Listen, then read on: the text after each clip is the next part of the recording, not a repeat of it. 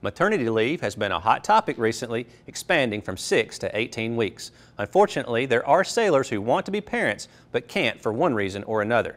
For those sailors, adoption is their chance to experience parenthood. Did you know the Navy authorizes up to 21 days of temporary additional duty for service members adopting a child?